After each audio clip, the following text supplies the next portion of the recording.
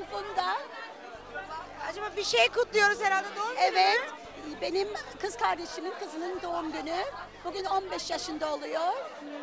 Doğum günü Kıbrıs Genç Diyor adına biz de kutluyoruz.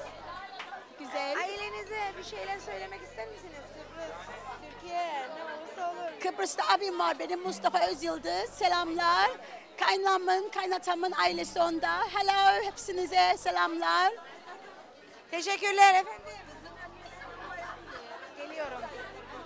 Selamlar nasıl? Efendim? Sizi tanıyabilir miyim? Nursel Özyıldız. Marlı Dağlıyım. Bütün aileme selamlar söylerim. Evet, merhabalar Ali Bey. Merhaba. Afiyet olsun efendim. Şu anda Sendro Restoran'ın sahiplerinden sevgili Ali Bey. Cyprus meze var da eğleniyoruz. Evet çok çok güzel. Na, ortam süper. O çok güzel.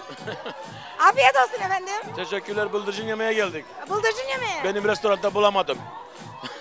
Süpersin. Teşekkür ederim. Yine Ülviş, Gönüller Sultanı Kerem ile programı birlikte açıyor. Arkadaş Elimiz geçiyor bak yavaş yavaş Emrimiz hazır mıyız? Hazır mıyız? Emrimiz geçiyor bak yavaş yavaş Emrimiz bütün eller gelsin Şıklardır, şıklı anlamındadır Mavi boncuk dinleyse benim gönlüm anlamındadır Mavi boncuk dinleyse benim gönlüm ondadır Kerem yalnızca sana bir atıfta bulunalım. Söz ağızdan çıkar derler. Biliyor muydun?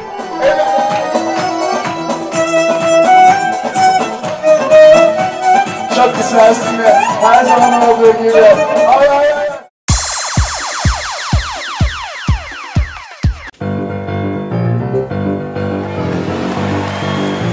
İşte Londra'da bir haftada böyle yaşandı. Bitmek bilmeyen Londra gecelerinde uçan, kaçan, kovalayan kameramanlarımız görevlerinin başında sizlerle. Haftaya görüşmek ümidiyle hoşça kalın.